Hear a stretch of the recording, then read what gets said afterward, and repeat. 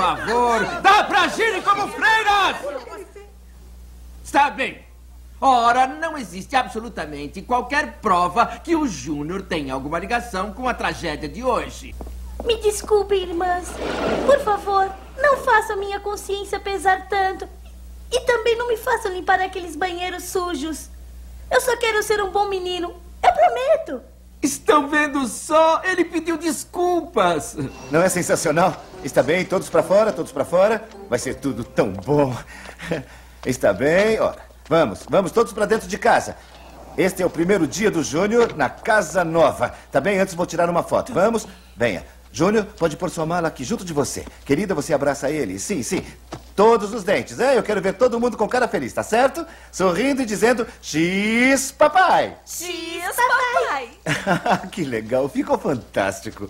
Como foi que me adotaram? E por que vocês não têm o seu próprio filho? Ah, bom, puxa. ah, sabe, com um bebê a gente nunca sabe o que vem por aí. Pode ser uma fria. Mas, mas com você, claro, nós não vamos ter surpresa. O Sr. Peabody nos disse como você é legal. Ele disse? Claro, e disse inclusive que você ganhou o prêmio de órfão mais popular.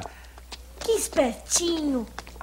Ah, Ô, pai, que prazer. Vamos entrando. Ah, então, qual é a grande surpresa que vocês têm pra mim? Ah, bom, pai, eis uma É pista. um menino.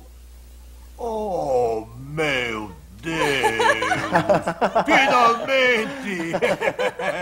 Vocês arranjaram alguém pra me ajudar na minha campanha.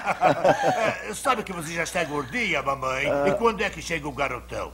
Gorda? Ah, Não, pai, não, não. A Florence não está esperando o bebê, pai. Seu maroto. Ah, Seguiu o meu conselho e entregou seu esperma para alguém que sabe o que fazer com ele, é? Uma mãe de aluguel. Olha, me diz uma coisa. Você fez num copinho ou o negócio foi, foi real, ao vivo? n- não, não, pai. Nós, nós adotamos. Quê? Estão malucos? Ah, ma- ma- mas eu pensei que fosse gostar. Venha, vem aqui. Gostar? Não sabe que isso pode ser uma fria mãe desajustada, de sangue ruim? Vai lá saber quem são os pais? Podem ser do partido da oposição. Ele é um belo garoto, pai. Relaxe. Vai ver quando conhecê-lo. Vai gostar dele.